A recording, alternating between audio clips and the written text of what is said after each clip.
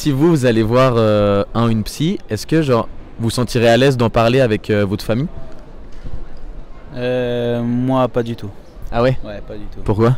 Parce que parler avec une psy, euh, je sais pas, je suis pas très rassuré de discuter de mes problèmes avec une personne. Bon, elle est payée pour ça, je paye pour ça aussi. Je parle d'expérience que j'ai eue. Des amis, ils ont été voir des psys et puis euh, la façon dont elle, elle s'est comportée la psy avec eux, ça a plutôt détruit complètement sa famille. Donc vu comment ça s'est fini avec lui, pour moi un psy c'est pas trop mon truc.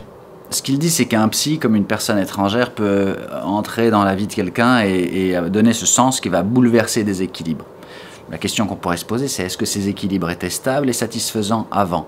Mais c'est juste, il y a un danger de changement et avec le changement, ben, de ne pas reconnaître tout à fait euh, l'état de la situation antérieure. si, si vous allez consulter euh, un ou une psy, est-ce que vous vous sentirez à l'aise d'en discuter avec votre famille de ça? Euh, moi, pas trop, je sais, Pas parce trop que c'est je sais que c'est un sujet un peu tabou dans le sens où quand on dit on va voir un psy, c'est forcément quelque chose de très grave, alors que ça peut ne pas l'être.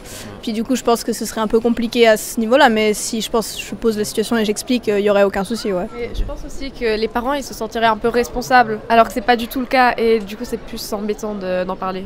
Moi, je pense que ça dépend plutôt de la relation qu'on a avec la famille, puis euh, de l'idéologie de la famille, parce que je sais que chez moi, il y aurait absolument aucun souci. euh, si genre, ouais, ils seraient juste en train de m'encourager, donc ça dépend aussi beaucoup de la relation qu'on a avec la famille. Les parents peuvent effectivement euh, encourager, aller voir un psy, soutenir dans cette démarche-là, et puis après, ils peuvent se sentir remis en cause ou en question quand euh, les conflits apparaissent euh, ou quand les conflits euh, euh, les, les impliquent.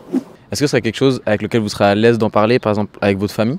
Vu que je suis dépendante financièrement de ma famille, je pense qu'ils seraient obligés de, de savoir. Mais euh, après, je je discuterai pas forcément de mes problèmes avec ma famille, mais juste parce que je suis pas très proche avec. Ouais, ça fait du bien d'avoir une personne euh, externe qui, a, enfin, qui est euh, complètement objectif. Ben oui, c'est vrai. Alors il y a des aspects administratifs qui font qu'on n'a pas toujours le choix de, de cacher euh, les factures à ses parents.